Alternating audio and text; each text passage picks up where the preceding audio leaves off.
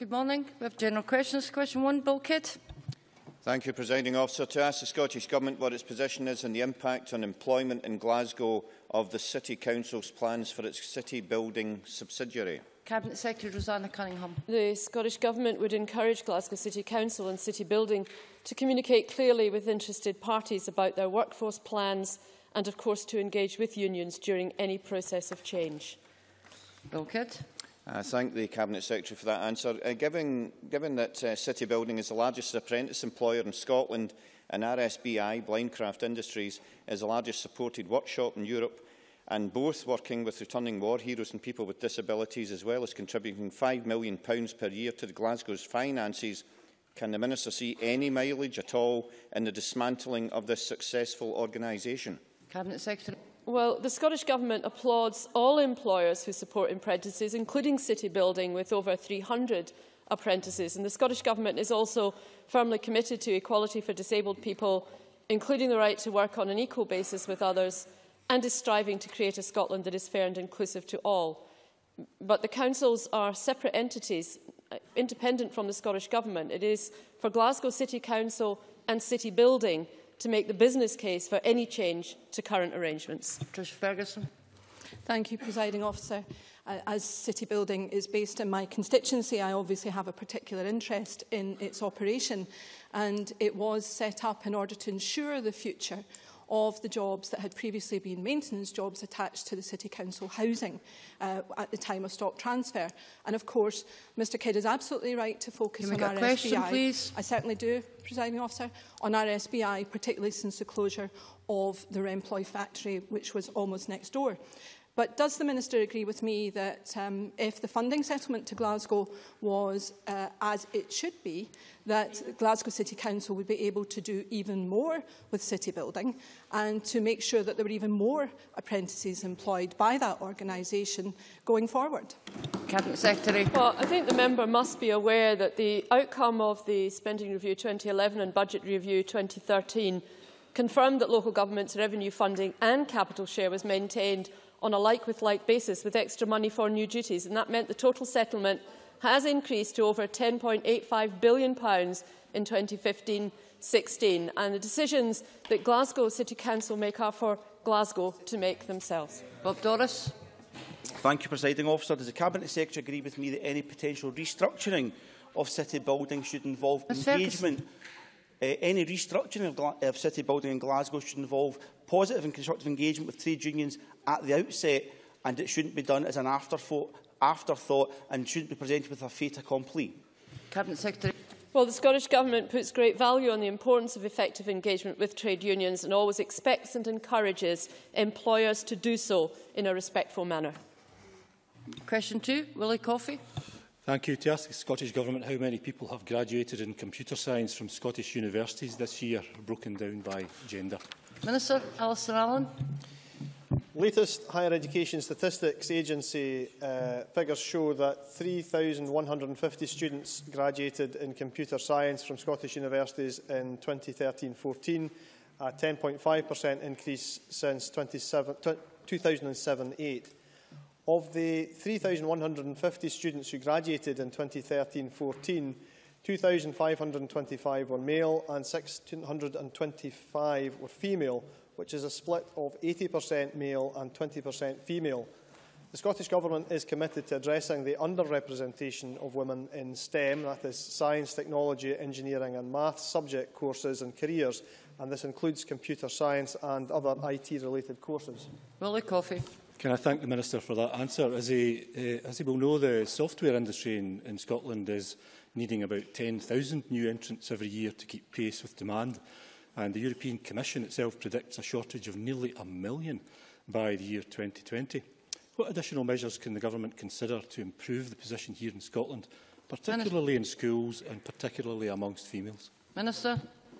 Well, the, the member is, is right to say that there is a, a skills uh, shortage in this area, that the, the industry is crying out uh, for, for new people uh, and uh, that there is a, a message going out from this government as well as from industry uh, that we want to recruit uh, more young women uh, onto uh, courses both for computing science and for ICT. The Scottish Government is doing a number of things on this front, uh, not least uh, the fact uh, that there are initiatives such as CodeClan, which works with uh, industry as an industry-led academy. Uh, also, the fact that Dragonfly, a, a programme which uh, promotes uh, engineering and science careers among specifically S2 girls, all of these and other measures are designed to make clear, as is being made clear in primary school, uh, that there are no boys' jobs and girls' jobs in Scotland, uh, and that very much applies uh, to computing science uh, as other science subjects. Question three, Joanne Lamont. Thank you, Presiding Officer. To ask the Scottish Government when the Cabinet Secretary for Infrastructure, Investment and Cities last met Glasgow City Council and what issues were discussed. Minister Derek Mackay. Ministers and officials regularly meet with Glasgow City Council on a variety of portfolio issues. The Cabinet Secretary for Infrastructure, Investment and Cities last met the Glasgow City Council leader on the 28th of October at the Scottish Cities Alliance Leadership Group meeting, where the agenda spanned a range of issues, including empowering Scotland's cities, infrastructure investment and plans to refresh the agenda for cities. The Cabinet Secretary is due to meet Councillor McAveety again tomorrow at the Cities Convention in Perth.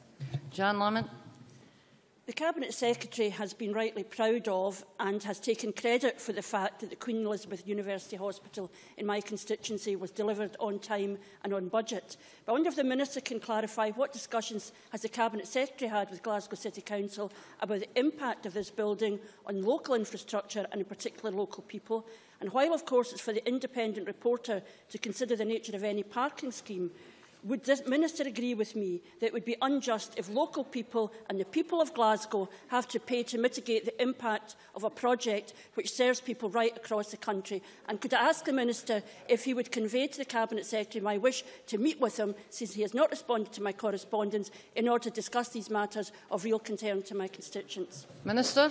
On the, the subject of, of a major development, there are matters that would be captured within planning consents that were considered by the Planning Authority at the time, and it does relate to uh, transport uh, which will be for transport partners, uh, partners to uh, consider further. There is a separate matter of the reporter's hearing, which of course is impartial, not appropriate for ministers to uh, intervene. There are local transport responsibilities, regional transport responsibilities and national transport responsibilities, all of which the government has engaged appropriately with. For example, on the Fastlink connection to the hospital, government has been involved and I was involved in trying to ensure that the project was uh, completed. There are other discussions being held with the City Council, for example on City Deal, tax incremental finance and other transport projects as appropriate where the Cabinet Secretary is engaged. But in terms of requests for a meeting and raising further issues, of course I'm more than happy to convey that uh, to the uh, Cabinet Secretary in the spirit that's been conveyed by Johann Lamont. Question number four, Mary Fee. Thank you, Presiding Officer. To ask the Scottish Government what action it is taking to improve fertility services in West Scotland. Minister Maureen Watt. Thank you, Presiding Officer. NHS IVF services for patients of health boards in the west of Scotland are provided by the Assisted Conception Unit at Glasgow Royal Infirmary. A new state-of-the-art unit was formally opened on the 23rd of February this year by the Cabinet Secretary for Health and Wellbeing. The unit provides a calm and supportive environment for patients benefits from a multi-million pound investment enabling the delivery of the latest innovative assisted conception technologies in modern purpose-built accommodation. Along with funding support from the Scottish Government of 18 million over the last four financial years, the additional capacity in the unit has meant all eligible patients now start treatment at the unit and indeed across Scotland within 12 months. The Scottish Government funded the purchase of embryoscopes for the four assisted conception units in Scotland, which help with the selection of the best embryos to help improve IVF success rates and, importantly, increase the use of single embryo transfer to reduce the multiple birth rate. Mary Fee. Can I thank the Minister for that um, comprehensive answer? I do welcome the investment that's been made by the Scottish Government in recent years to tackle the postcode lottery facing couples waiting IVF treatment. After successful IVF treatment, new parents face a bill of £500 six months after the birth of a child conceived through IVF for the storage of any remaining frozen embryos. Can the Minister tell me how many times health boards have passed this bill on to debt collection agencies if not paid in the time expected by the health board? Minister. Um, on that specific uh, question uh, that Mary Fee ans uh, asks, no, I don't know the answer to the question. I uh, respect her involvement in this issue. She's asked a number of written questions and indeed um, submitted a number of motions on this. Uh, the National Infertility Group does collect data. I'm not sure it collects data on this, but I will get back to the member. Thank you. Question five, James Dornan to ask the Scottish Government what winter preparedness programmes it has put in place to protect vulnerable people. Cabinet Secretary Shona Robertson. The Scottish Government supports a number of initiatives designed to protect the most vulnerable members of our communities throughout the winter period. Including the Ready for Winter campaign launched on the 9th of November. NHS boards and their partners have robust winter plans in place to ensure that all patient services will be delivered and maintained throughout the winter period. NHS boards have processes in place to identify pa patients who are at high risk of admission to hospital this winter, including the very frail and those suffering from long-term conditions.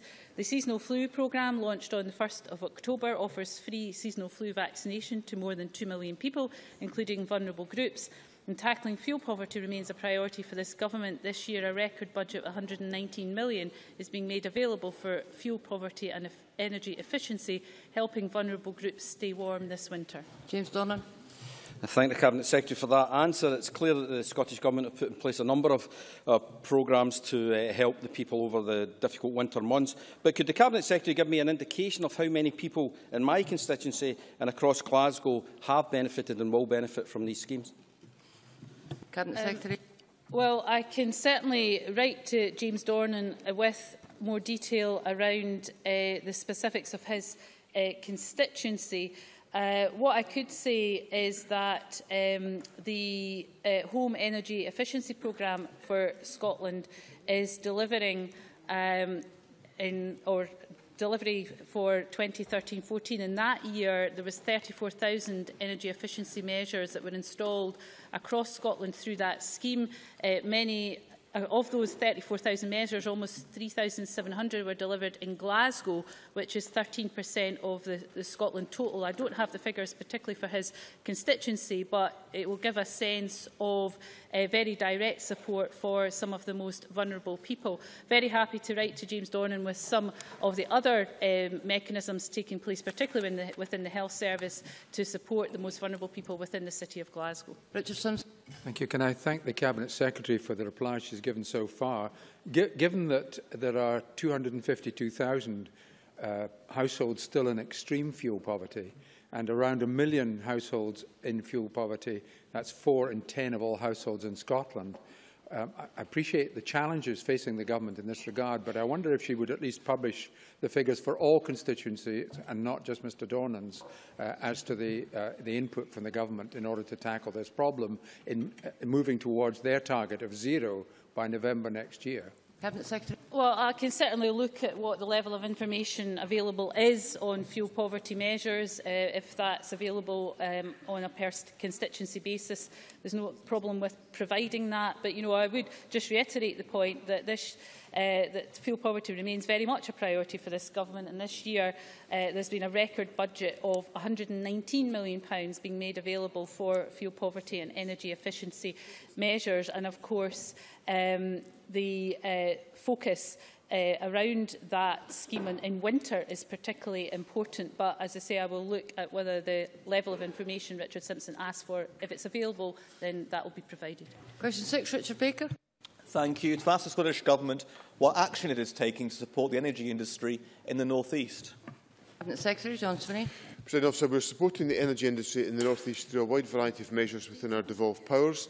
For example, we've set up the Energy Jobs Task Force, which is coordinating action between government, the wider public sector industry, industry bodies and trade unions to support jobs in the North East uh, eh, eh, and the North Sea oil and gas industry.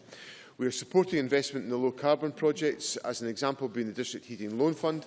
This fund has supported a range of projects, including a £1 million loan in February 2015 to Aberdeen Heat and Power for the continued expansion of the network in the city. Richard Baker. Uh, thank you. Given the concerning jobs figures in the North East yesterday, with the claimant count in Aberdeen rising by 39%, would the Cabinet Secretary agree that a renewed strategy to support the energy industry in the North East is required, and that while the appointment of Bob Keiller as Chair of Scottish Enterprise does present an opportunity for a fresh focus on policies to support the sector, uh, the success of the Aberdeen City Region deal bid will be crucial to secure the future of the energy industry in the North East, which is so important to Scotland as a whole? Cabinet Secretary. Uh, Senator, well, first of all, can I, uh, can I welcome the comments that Richard Baker has made in relation to the appointment of Bob Keiller as the chairman of Scottish Enterprise. I am absolutely delighted that Mr Keiller has uh, been appointed and I think he will bring tremendous expertise, not just in the oil and gas sector, but across his wide business experience to the leadership of Scottish Enterprise uh, with an intimate knowledge of the northeast of Scotland. So uh, I, I, very much welcome um, Mr Baker's remarks in that respect. Uh, obviously, we remain very focused on the employment position in the North East of Scotland. The employment data is concerning given the degree of uh, increase in um, the claimant count that has taken place, uh, which is why the Energy Jobs Task Force is focused on supporting companies and why a lot of our efforts on internationalisation and on innovation work will concentrate on developments in the North East. And Uh, obviously, the, the Government is uh, determined to make sure that we broaden our energy propositions, which is why we uh, are pressing so hard for there to be a more stable approach to renewable energy policy development within the United Kingdom, which has been singularly absent in the last few months. Question number seven, To ask the Scottish Government how it will respond to the Commission for School Reform's challenge paper. Alasdair Allan. The First Minister and I are meeting with the Chair of the Commission, Keir Bloomer, this afternoon to discuss the challenge paper. One of the, uh, one of the weaknesses of uh, Scottish Government policy on closing the attainment gap highlighted in the paper uh, is the targeting of resources. Given that most of the poorest children do not go to schools in the poorest areas, they miss out on intended support. My own constituency of East Lothian, for example, is receiving not one penny uh, of the Scottish Government's Attainment Fund. Labour's Fair Start Fund proposal would see every primary school in my constituency receive support for those children facing barriers to attainment. Uh, will the Minister uh, and the Cabinet Secretary uh, undertake to re-examine the targeting of future funding when they meet the authors of the Commission report? Well, one matter on which uh, Mr Gray and I agree, I suspect, uh, is on this. Is it acceptable that uh, uh, for somebody in Scotland's most affluent communities, is it acceptable that they are twice as likely to come out of school with at least one higher as someone from Scotland's most deprived communities? No, it isn't acceptable. Uh, neither was it acceptable uh, the situation that we inherited uh, when it was almost four times was the ratio in question. But on the question of resources, and they have been raised, Uh, it's important to say that the £5 billion pounds which uh, the government and local authorities invest in schools is increasingly, I think, targeted on this priority of closing uh, the attainment gap. On te in terms of the, the local authorities concerned, it's important to say, too, uh, that the government is uh, investing out with the 11 uh, out with the seven rather uh, local authorities which were initially uh, named. And uh, the, the point has been raised uh, about the attainment challenge which Labour proposed. Well, I don't intend to try to uh, offer much advice to Labour on the writing of their manifesto. Uh, but I would point to the fact that their attainment challenge needs a bit of work done on it, uh, given that they've costed it at £72 million and all the available evidence would, would suggest that that's an £87 million investment to implement that policy in preschool and primary uh, and £131 million uh, across all schools. But while Labour are working out all that, uh, this government will get on with the task that is important, which is making Scotland's education system fairer for all. Question 8, Malcolm Chisholm. Progress it is making with the recruitment of additional specialist nurses. Cabinet Secretary Uh, so far this year alone, uh, this government has invested over £2.4 million to improve access to specialist nursing and care, including the appointment of additional specialist nurses. NHS boards are on track to appoint at least one additional whole-time equivalent specialist nurse by the 31st of December. NHS uh, motor neuron disease specialist nurses are now paid from the public purse and NHS boards who employ these nurses are in the process of recruiting additional nurses which will fulfil our pledge to double their number. Briefly, Mr Thank the Cabinet Secretary for the answer. Does uh, Cabinet Secretary agree that there is little uh, or nothing more appreciated by patients with chronic or rare diseases than the availability of a specialist nurse? So will she closely monitor the use of this money by health boards and also ensure it is a priority uh, in the forthcoming spending review? Briefly, Cabinet Secretary. yes, I can reassure Malcolm Chisholm we are indeed monitoring that and we will ensure it is a priority going forward. Thank you. We now move to First Minister's questions. Question number one.